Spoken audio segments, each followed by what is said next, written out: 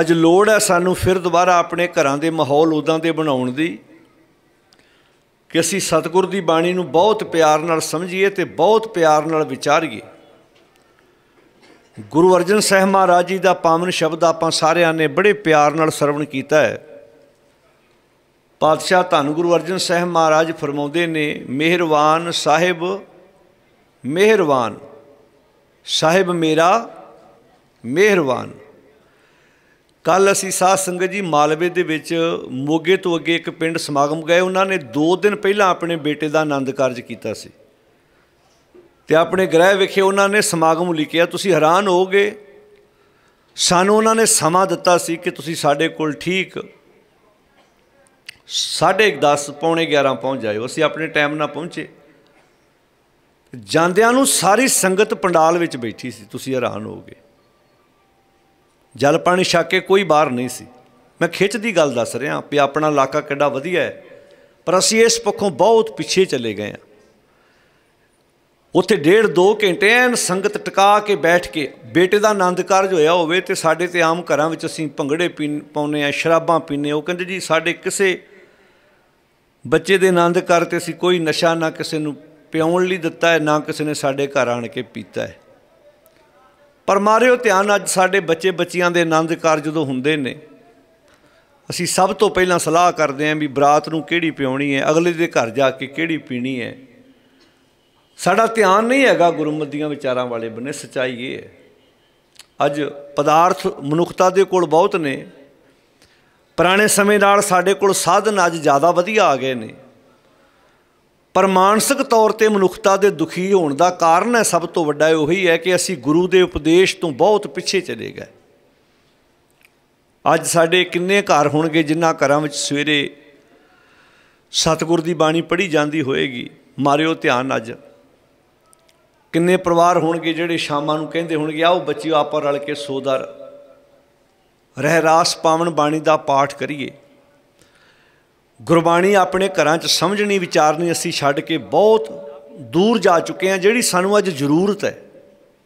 ਵੀ ਗੁਰੂ ਪਾਤਸ਼ਾਹ ਜੀ ਨੇ ਐਡਾ ਵੱਡਾ ਸਾਨੂੰ ਖਜ਼ਾਨਾ ਬਖਸ਼ਿਸ਼ ਕੀਤਾ ਐਡੀ ਵੱਡੀ ਵਿਚਾਰ ਦਿੱਤੀ ਸਾਨੂੰ ਜ਼ਿੰਦਗੀ ਜਿਉਣ ਦੀ ਕਿ ਅਸੀਂ ਐਡੇ ਵੱਡੇ ਦੁਨੀਆ ਦੇ ਧਨ ਪਦਾਰਥ ਭੋਗਦਿਆਂ ਹੋਇਆਂ ਅਸੀਂ ਉਸ ਮਾਲਕ ਦਾ ਸ਼ੁਕਰਾਨਾ ਕਰਨਾ ਵੀ ਦਾਤਾ ਜਿੰਨੀ ਵਾਰ ਤੁਹਾਡਾ ਧੰਨਵਾਦ ਕਰੀਏ, ਉਨੀ ਵਾਰ ਹੀ ਥੋੜਾ ਹੁਣ ਇੱਥੇ ਸਾਹਿਬ ਜੀ ਸਮਝਾਉਂਦੇ ਨੇ, ਮਿਹਰਬਾਨ ਸਾਹਿਬ ਮਿਹਰਬਾਨ ਸਾਹਿਬ ਮੇਰਾ ਮਿਹਰਬਾਨ ਕਹਿੰਦੇ ਜਿਹੜਾ ਮੇਰਾ ਸਾਹਿਬ ਹੈ, ਮੇਰਾ ਜਿਹੜਾ ਮਾਲਕ ਹੈ, ਉਹ ਸਦਾ ਹੀ ਮਿਹਰਬਾਨ ਹੁੰਦਾ ਉਹ ਕਦੀ ਕਰੋਪੀ ਦੇ ਘਰ ਵਿੱਚ ਨਹੀਂ ਆਉਂਦਾ। ਉਹ ਕਦੀ ਕਿਸੇ ਦਾ ਨੁਕਸਾਨ ਨਹੀਂ ਕਰਦਾ। ਉਹ ਕਦੀ ਕਿਸੇ ਨੂੰ ਬਾਦ ਅਸੀਸ ਨਹੀਂ ਦਿੰਦਾ। ਪਰ ਅਸੀਂ ਕਈ ਵਾਰੀ ਆਮ ਸ਼ਬਦ ਬੋਲ ਦਿੰਨੇ ਆ ਰੱਬ ਕਹਿਰਵਾਨ ਹੋ ਗਿਆ, ਰੱਬ ਨੇ ਤੇ ਲੋੜਾ ਮਾਰ ਦਿੱਤਾ, ਰੱਬ ਨੇ ਧੱਕਾ ਕਰ ਦਿੱਤਾ। ਇੱਕ ਚੇਤਾ ਰੱਖਿਓ, ਪ੍ਰਮਾਤਮਾ ਕਦੀ ਵੀ ਕਹਿਰਵਾਨ ਨਹੀਂ ਹੁੰਦਾ। ਰੱਬ ਜੀ ਕਦੀ ਵੀ ਕਿਸੇ ਦਾ ਨੁਕਸਾਨ ਨਹੀਂ ਕਰਦੇ। ਜਦੋਂ ਨੁਕਸਾਨ ਹੁੰਦਾ ਹੈ, ਸਾਡੇ ਆਪਣੇ ਕੰਮਾਂ ਕਰਕੇ ਹੁੰਦਾ ਕਿਤੇ ਨਾ ਕਿਤੇ ਸਾਡੇ ਕਰਮਾਂ ਵਿੱਚ ਫ਼ਰਕ ਹੁੰਦਾ ਹੈ। ਦੱਦੇ ਦੋਸ਼ ਨਾ ਦੇਉ ਕਿਸੇ। ਦੋਸ਼ ਕਰਮਾਂ ਆਪਣਿਆਂ। ਜੋ ਮੈਂ ਕੀਆ, ਸੋ ਮੈਂ ਪਾਇਆ, ਦੋਸ਼ ਨਾ ਦੀਜੈ ਅਵਰ ਜਨਾ। ਸਿੱਖ ਦੀ ਜ਼ਿੰਦਗੀ ਵਿੱਚ ਖੁਸ਼ੀ ਆਵੇ ਤੇ ਖੁਸ਼ੀ ਵੀ ਅਧੂਰੀ ਹੈ, ਜਦੋਂ ਤੱਕ ਵਿੱਚ ਗੁਰੂ ਨਹੀਂ ਆਉਂਦਾ। ਜਦੋਂ ਅਸੀਂ ਗੁਰੂ ਨੂੰ ਵਿੱਚ ਲੈ ਕੇ ਆਉਂਦੇ ਆ ਸਾਡੀ ਖੁਸ਼ੀ ਵੱਧਦੀ ਹੈ। ਜਦੋਂ ਸਾਡੀ ਜ਼ਿੰਦਗੀ ਵਿੱਚ ਕੋਈ ਪਰੇਸ਼ਾਨੀ ਆਉਂਦੀ ਹੈ, ਕੋਈ ਦੁੱਖ ਆਉਂਦਾ, ਜਦੋਂ ਅਸੀਂ ਗੁਰੂ ਨੂੰ ਵਿੱਚ ਲੈ ਆਈਏ ਤੇ ਸਾਡਾ ਦੁੱਖ ਘਟਦਾ ਹੈ।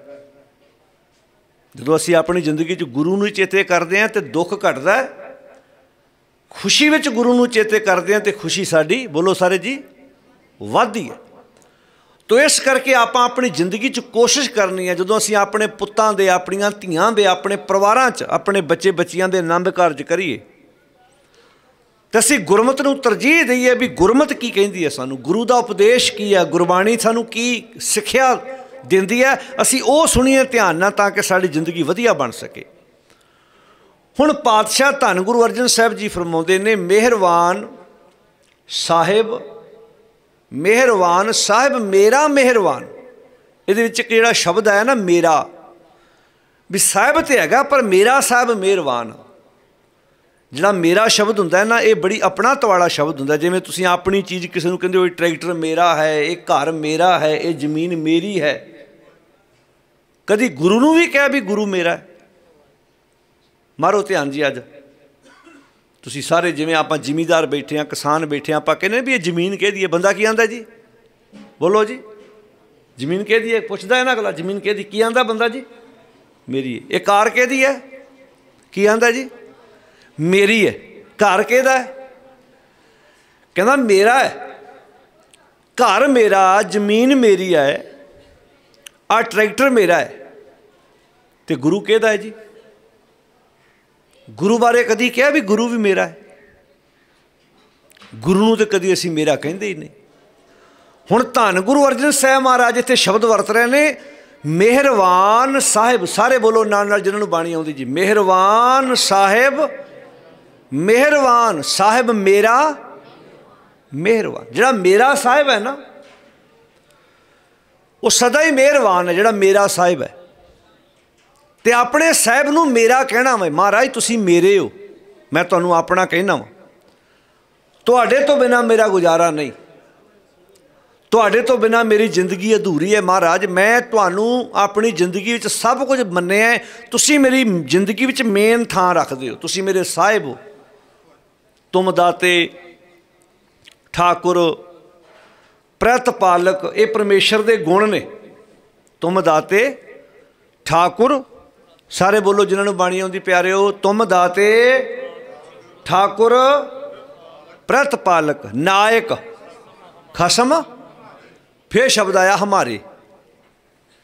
ਤੁਸੀਂ ਇਹ ਸਾਰੇ ਜਿਹੜੇ ਵਿੱਚ ਗੁਣ ਨੇ, ਰੱਬ ਜੀ, ਤੁਸੀਂ ਮੇਰੇ ਹੋ, ਹਮਾਰੇ ਹੋ, ਸਾਡੇ ਹੋ।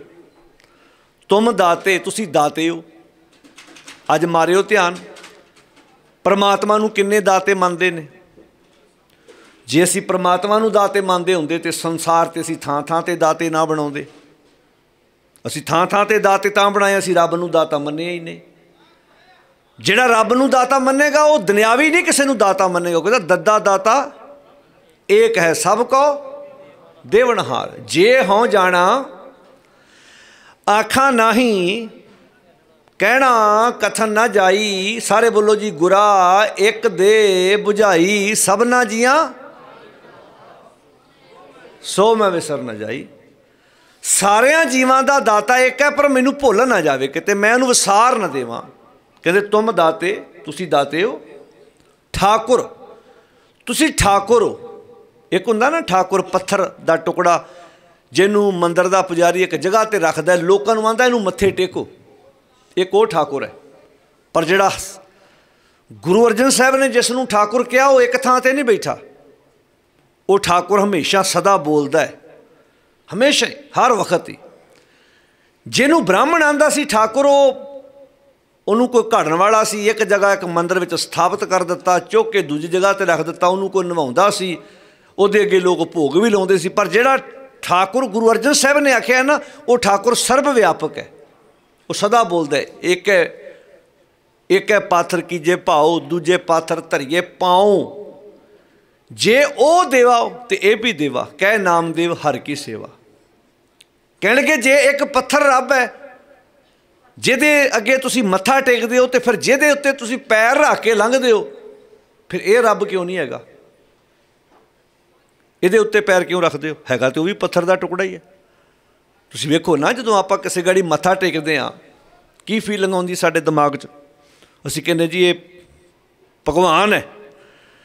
ਤੇ ਭਗਤ ਨਾਮਦੇਵ ਜੀ ਕਹਿੰਦੇ ਵੀ ਜੇ ਇੱਕ ਪੱਥਰ ਦੇ ਉੱਤੇ ਤੁਸੀਂ ਪੈਰ ਰੱਖ ਦਿੱਤਾ, ਇੱਕ ਪੱਥਰ ਦੇ ਅੱਗੇ ਤੁਸੀਂ ਸਿਰ ਝੁਕਾਉਂਦੇ ਹੋ, ਇੱਕ ਪਾਥਰ ਕੀਜੇ ਭਾਓ ਭਾਉ ਦਾ ਅਰਥ ਹੈ ਪਿਆਰ, ਦੂਜੇ ਪਾਥਰ ਧਰੀਏ ਪਾਉ ਪਾਉ ਦਾ ਅਰਥ ਹੈ ਪੈਰ। ਹੁਣ ਇੱਕ ਪੱਥਰ ਉੱਤੇ ਤੁਸੀਂ ਪੈਰ ਰੱਖਿਆ, ਇੱਕ ਪੱਥਰ ਅੱਗੇ ਤੁਸੀਂ ਸਿਰ ਝੁਕਾਉਂਦੇ ਹੋ, ਇਹ ਬੇਇਨਸਾਫੀ ਕਿਉਂ? ਫ਼ਰਕ ਕਿਉਂ?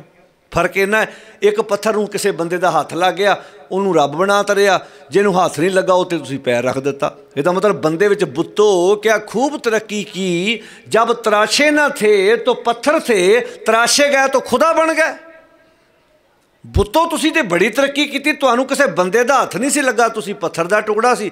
ਤੁਹਾਨੂੰ ਕਿਸੇ ਨੇ ਹੱਥ ਕੀ ਲਾ ਦਿੱਤਾ? ਤੁਸੀਂ ਤੇ ਰੱਬ ਬਣ ਗਏ। ਤੁਸੀਂ ਤੇ ਲੋਕਾਂ ਦੇ ਕੋਲੋਂ ਆਪਣੇ ਅੱਗੇ ਮੱਥੇ ਟਿਕਾਉਣ ਲੱਗ ਪਏ। ਅੱਜ ਸਿੱਖ ਤੁਸੀਂ ਵੇਖੋ, ਥਾਂ ਥਾਂ ਤੇ ਕਿਦਾਂ ਸਿਰ ਝੁਕਾਉਂਦਾ ਫਿਰਦਾ ਹੁਣ ਇੱਥੇ ਕਿੱਡੀ ਪਿਆਰੀ ਬਚਨ ਗੱਲ ਕਹੀ ਸਤਗੁਰ ਨੇ। ਕਹਿੰਦੇ, ਤੁਮ ਦਾਤੇ, ਪਰਮਾਤਮਾ ਵੈਗਰੂ ਕਾਲਪੁਕ ਸਾਰਿਆਂ ਦਾ ਦਾਤਾ ਹੈ। ਠਾਕੁਰ, ਤੁਸੀਂ ਠਾਕੁਰ ਪ੍ਰਤਪਾਲਕ ਤੁਸੀਂ ਸਾਰਿਆਂ ਦੀ ਪ੍ਰਤ ਪਾਲਣਾ ਕਰਦੇ ਹੋ। ਕਿਵੇਂ ਪ੍ਰਤ ਪਾਲਣਾ ਕਰਦੇ ਹੋ ਜੀ? ਹੁਣ ਆਪਾਂ ਸਰੀਰ ਦੀ ਖੁਰਾਕ ਵਾਸਤੇ ਸਾਨੂੰ ਜੋ ਵੀ ਆਟਾ, ਦਾਲ, ਸਬਜ਼ੀ, ਜੋ ਵੀ ਅਸੀਂ ਪਕਵਾਨ ਖਾਂਦੇ ਆ ਉਹ ਤੇ ਬੰਦਾ ਜਿੰਨੀ ਕੋ ਵੱਧ ਕਮਾਈ ਕਰੇਗਾ ਉਹਨਾਂ ਵਧੀਆ ਪਕਵਾਨ ਖਾ ਲੂ। ਜਿੰਨੀ ਕੋ ਘੱਟ ਕਮਾਈ ਕਰੇਗਾ, ਉਹ ਥੋੜੀ ਜੀ ਘੱਟ ਖਾ ਲੂ। ਪਰ ਇੱਥੇ ਗੱਲ ਹੋ ਰਹੀ ਹੈ ਬੰਦੇ ਦੇ ਮਨ ਦੀ। ਖੁਰਾਕ ਵੀ ਦੋ ਹੁੰਦੀਆਂ ਨੇ। ਮਨ ਦੀ ਖੁਰਾਕ ਹੋਰ ਹੈ, ਤਨ ਦੀ ਖੁਰਾਕ ਹੋਰ ਹੈ। ਜਿਹੜਾ ਹੁਣ ਤੁਸੀਂ ਟੈਂਟ ਵਿੱਚ ਬਾਹਰ ਛੱਕ ਕੇ ਆਏ ਜੀ, ਇਹ ਸਾਡੇ ਤਨ ਦੀ ਖੁਰਾਕ ਹੈ।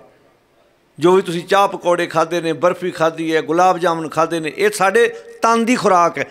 ਆ ਜਿਹੜੀ ਆਪਾਂ ਇੱਥੇ ਛਕ ਰਹੇ ਆ ਇਹ ਸਾਡੇ ਮਨ ਦੀ ਖੁਰਾਕ ਹੈ।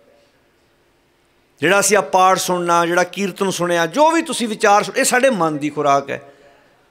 ਗੁਰੂ ਨਾਨਕ ਸਾਹਿਬ ਜੀ ਦੇ ਘਰ ਦੋ ਕਿਸਮ ਦੇ ਲੰਗਰ ਨੇ, ਤਨ ਦਾ ਵੀ ਲੰਗਰ ਹੈਗਾ ਤੇ ਮਨ ਦਾ ਵੀ ਲੰਗਰ ਹੈਗਾ। ਜਿਹੜਾ ਤਨ ਦਾ ਲੰਗਰ ਸਾਡੇ ਤੋਂ ਥੋੜੀ ਦੂਰੀ ਹੈ ਨਾ, ਖਡੂਰ ਸਾਹਿਬ ਦੀ ਧਰਤੀ ਤੇ ਮਾਤਾ ਖਿਵੀ ਜੀ ਦਾ ਲੰਗਰ ਜਦੋਂ ਚੱਲਦਾ ਸੀ ਤੇ ਭਾਈ ਸੱਤਾ ਬਲਵੰਡ ਜੀ ਨੇ ਆਪਣੀ ਵਾਰ ਵਿੱਚ ਜ਼ਿਕਰ ਕੀਤਾ ਗੁਰੂ ਅੰਗਦ ਸਾਹਿਬ ਜੀ ਦੀ ਸੁਪਤਨੀ ਦਾ। ਕਹਿੰਦੇ, ਬਲਵੰਡ, ਖਿਵੀ ਨੇਕ ਜ਼ਨ। ਹੇ ਬਲਵੰਡ, ਮਾਤਾ ਖਿਵੀ ਬੜੀ ਨੇਕ ਜ਼ਨ ਹੈ, ਜ਼ਨ। ਜੱਜਾ ਸ਼ਬਦ ਦੇ ਜਦੋਂ ਪੈਰਾਂ 'ਚ ਬਿੰਦੀ ਲੱਗ ਜਾਂਦੀ ਨਾ, ਇਹ ਅਰਥ ਬਣ ਜਾਂਦਾ ਹੈ ਜ਼ਨ ਜ਼ਨ ਮੀਨਿੰਗ ਔਰਤ। ਜਦੋਂ ਜਿੱਜੇ ਦੇ ਪੈਰ 'ਚੋਂ ਬਿੰਦੀ ਉਟਾ ਉਤਾਰ ਦਿਓ, ਫਿਰ ਜਨ ਬਣ ਜਾਂਦਾ। ਜਨ ਦਾ ਅਰਥ ਹੁੰਦਾ ਸੇਵਕ। ਜਿਵੇਂ ਜਨ ਨਾਨਕ ਧੂੜ ਮੰਗੇ ਤਿਸ ਗੁਰਸਿੱਖੀ ਉਸ ਜਨ ਦਾ ਅਰਥ ਸੇਵਕ ਜਦੋਂ ਪੈਰ 'ਚ ਬਿੰਦੀ ਲੱਗੀ ਜੱਜੇ ਦੇ, ਉਦੋਂ ਬਣ ਜਾਏਗਾ ਜ਼ਨ। ਜ਼ਨ ਮੀਨਿੰਗ ਔਰਤ। ਬਲਵੰਡ ਖੀਵੀ, ਸਾਰੇ ਬੋਲੋ ਪਿਆਰਿਓ, ਬਲਵੰਡ ਖੀਵੀ, ਨੇਕ ਜ਼ਨ, ਇਹਨੂੰ ਜ਼ਨ ਪੜਨਾ ਜ਼ਨ ਮੀਨਿੰਗ ਔਰਤ। ਵੀ ਮਾਤਾ ਖੀਵੀ ਜੀ ਬੜੀ ਨੇਕ ਔਰਤ ਹੈ। ਬਹੁਤ ਨੇਕ ਨੇ ਗੁਰੂ ਅੰਗਦ ਸਾਹਿਬ ਜੀ ਦੀ ਸੁਪਤਨੀ। ਕਿਉਂ ਨੇਕ ਨੇ? ਜਿਸ ਬਹੁਤੀ ਛਾਂ ਪਤਰਾਲੀ। ਜਿਵੇਂ ਕਿਸੇ ਦਰਖਤ ਦੇ ਪੱਤੇ ਜਾਦੇ ਹੋਣ, ਕਿਸੇ ਦਰਖਤ ਦੀਆਂ ਟਾਹਣੀਆਂ ਹਰੀਆਂ ਹੋਣ, ਤੇ ਦਰਖਤ ਸੰਘਣੇ ਦਾ ਫਾਇਦਾ ਕੀ ਹੁੰਦਾ ਭਲਾ? ਤੁਸੀਂ ਰਾਤ ਜਾਂਦੇ ਹੋ, ਧੁੱਪ ਲੱਗੀ ਹੋਵੇ, ਤੇ ਸੰਘਣੇ ਦਰਖਤ ਦੀ ਬੰਦਾ ਬੋਲੋ ਜੀ, ਛਾਂ ਬੈਂਦਾ ਤੇ ਫਿਰ ਛਾਵੇਂ ਬਹਿ ਕੇ ਬੰਦਾ ਥੋੜੀ ਜੀ ਰਾਹਤ ਮਹਿਸੂਸ ਕਰਦਾ ਤੇ ਸਾਰੀ ਧੁੱਪ ਦਰਖਤ ਆਪਣੇ ਤੇ ਝੱਲ ਕੇ ਥੱਲੇ ਬਹਿਣ ਵਾਲੇ ਨੂੰ ਠੰਡਕ ਦਿੰਦਾ। ਕਹਿੰਦੇ, ਮਾਤਾ ਖੀਵੀ ਜੀ, ਇੱਕ ਸੰਘਣੇ ਦਰਖਤ ਦੀ ਤਰ੍ਹਾਂ ਨੇ, ਜਿਹੜੇ ਆਏ ਹੋਏ ਆਪਣੇ ਪੁੱਤਰ ਗੁਰਸਿੱਖਾਂ ਨੂੰ ਠੰਡਕ ਦਿੰਦੇ ਨੇ। ਬਲਵੰਡ, ਖੀਵੀ ਨੇਕ ਜ਼ਨ। ਅੱਜ ਘਰਾਂ 'ਚ ਬਾਣੀ ਕਿੱਡਾ ਚੰਗਾ ਹੁੰਦਾ ਸੀ। ਆਪਣੇ ਸਤਿਗੁਰ ਦੀ ਬਾਣੀ ਪੜ੍ਹਦੇ, ਵਿਚਾਰਦੇ। ਕਿੰਨਾ ਸਾਡਾ ਪਿਆਰਾ ਵਿਰਸਾ ਸਾਧ ਸੰਗਤ ਜੀ। ਭੈਣੋ, ਗੁਰੂ ਗ੍ਰੰਥ ਸਾਹਿਬ ਜੀ ਦੇ ਵਿੱਚ ਜੇ ਕਿਸੇ ਔਰਤ ਦਾ ਨਾਮ ਹੈ, ਤੇ ਉਹ ਧੰਨ ਗੁਰੂ ਅੰਗਦ ਸਾਹਿਬ ਸੱਚੇ ਪਾਤਸ਼ਾਹ ਦੀ ਸੁਪਤਨੀ ਮਾਤਾ ਖਿਵੀ ਜੀ ਦਾ ਨਾਮ ਹੈ। ਤੇ ਜੇ ਅੱਜ ਬੀਬੀਆਂ ਨੂੰ ਕੋ ਪੁੱਛ ਲਵੇ ਵੀ ਸੱਥੋ ਜੀ ਗੁਰੂ ਗ੍ਰੰਥ ਸਾਹਿਬ ਚ ਕਿਹੜੀ ਬੀਬੀ ਦਾ ਨਾਮ, ਜੇ ਸਾਨੂੰ ਪਤਾ ਹੀ ਨਾ ਹੋਵੇ, ਤਾਂ ਕਹਿਣਗੇ, ਤੁਸੀਂ ਤੇ ਕਹਿੰਦੇ ਸਾਨੂੰ 20 ਸਾਲ ਹੋ ਗਏ ਗੁਰਦੁਆਰੇ ਜਾਂਦਿਆਂ ਨੂੰ। 30 ਸਾਲ ਜਾਂ ਜੇ ਸਾਨੂੰ ਆਪਣੇ ਗੁਰੂ ਬਾਰੇ ਨੌਲੇਜ ਹੀ ਨਹੀਂ, ਸਾਨੂੰ ਆਪਣੇ ਗੁਰੂ ਦੀ ਸਿੱਖਿਆ ਬਾਰੇ ਪਤਾ, ਦੱਸਣਾ ਕਿਹਨੇ ਸੀ? ਆਪ ਸਿੱਖਣਾ ਸੀ ਅਸੀਂ। ਆਪ ਪੜ੍ਹਨਾ ਸੀ। ਘਰਾਂ ਚੰਗੀਆਂ ਕਿਤਾਬਾਂ ਹੁੰਦੀਆਂ। ਅਸੀਂ ਭਾਵੇਂ ਇੱਕ ਅੰਕ ਰੋਜ਼ ਸਹਿਜ ਪਾਠ ਕਰੀਏ, ਅੱਧਾ ਪੜ੍ਹੀਏ, ਰੋਜ਼ ਸਤਿਗੁਰੂ ਦੀ ਬਾਣੀ ਦਾ ਸਹਿਜ ਪਾਠ ਕਰੋ, ਘਰਾਂ 'ਚ ਬਾਣੀ ਆਵੇ, ਸਾਡੇ ਘਰਾਂ ਦੇ ਦੁੱਖ, ਕਲੇਸ਼, ਜਿਹੜੀਆਂ ਅੱਜ ਲੋਭ, ਲਾਲਚ ਨੇ ਦੁਨੀਆ ਨੂੰ ਤਬਾਹ ਕੀਤਾ ਪਿਆ ਕੋਈ ਬੰਦਾ ਕਿਸੇ ਨੂੰ ਹੱਥ ਵੀ ਮਿਲਾਉਂਦਾ ਤੇ ਇਹ ਸੋਚ ਕੇ ਮਿਲਾਉਂਦਾ, ਜੇ ਇਹਨੂੰ ਹੱਥ ਮਿਲਾ ਰਿਹਾ 'ਚੋਂ ਮੈਨੂੰ ਫਾਇਦਾ ਕੀ ਹੋਊ? ਜੇ ਅੱਜ ਮੈਂ ਇਹਦੇ ਨਾਲ ਗਿਆ ਮੈਨੂੰ ਫਾਇਦਾ ਕੀ ਹੋਊ? ਜੇ ਮੈਂ ਨਾਲ ਜਾਊਂਗਾ, ਮੇਰਾ ਨੁਕਸਾਨ ਕੀ ਹੋਊ? ਕਈ ਵਾਰੀ ਜ਼ਿੰਦਗੀ 'ਚ ਨਫੇ ਨੁਕਸਾਨ ਤੋਂ ਉੱਪਰ ਉੱਠ ਕੇ ਵੀ ਸਾਨੂੰ ਇੱਕ ਦੂਜੇ ਦੇ ਕੰਮ ਆਉਣਾ ਚਾਹੀਦਾ। ਜਿਹੜੇ ਲੋਕ ਇਦਾਂ ਕਰਦੇ ਆ, ਉਹ ਕਦੀ ਮਰਦੇ ਨਹੀਂ। ਉਹ ਦੁਨੀਆ ਦੇ ਵਿੱਚ ਸਰੀਰ 'ਚ ਆਉਣ ਤੋਂ ਬਾਅਦ ਵੀ ਦੁਨੀਆ ਉਹਨਾਂ ਨੂੰ ਯਾਦ ਕਰਦੀ ਆ। ਤੇ ਜਿਹੜੇ ਲੋਕ ਸਿਰਫ ਸਵਾਰਥ ਕਰਕੇ ਇੱਕ ਦੂਜੇ ਦੀ ਵਰਤੋਂ ਕਰਦੇ ਹੁਣ, ਉਹ ਜਿੱਦਣ ਚੜ੍ਹਾਈ ਕਰਦੇ ਉਦੋਂ ਹੀ ਚੜ੍ਹਾਈ ਕਰ ਜਾਂਦੇ। ਕੌਣ ਕਿਸੇ ਨੂੰ ਯਾਦ ਕਰਦਾ ਜੀ ਪਿੱਛੇ? ਜੇ ਕਿਸੇ ਨੇ ਕੋਈ ਚੰਗਾ ਕੀਤਾ ਹੋਵੇਗਾ ਤਾਂ ਲੋਕ ਉਹਦੇ ਗੱਲ ਕਹਿ ਦੇਣਗੇ, ਬੰਦਾ ਬੜਾ ਨੇਕ ਸੀ ਭਾਈ, ਕਿਸੇ ਦੇ ਕੰਮ ਆਉਂਦਾ ਹੁੰਦਾ ਸੀ। ਹੁਣ ਧੰਨ ਗੁਰੂ ਅੰਗਦ ਸਾਹਿਬ ਜੀ ਦੀ ਪਤਨੀ ਬਾਰੇ ਭਾਈ ਸੱਤਾ ਬਲਵੰਡ ਜੀ ਕਹਿੰਦੇ, ਬਲਵੰਡ, ਖੀਵੀ ਨੇਕ ਜ਼ਨ, ਜਿਸ ਬਹੁਤੀ ਸ਼ਾਮ ਪਤਰਾਲੀ, ਲੰਗਰ ਦੌਲਤ ਵੰਡੀਏ ਲੰਗਰ ਨੂੰ ਦੌਲਤ ਕਿਹਾ। ਲੰਗਰ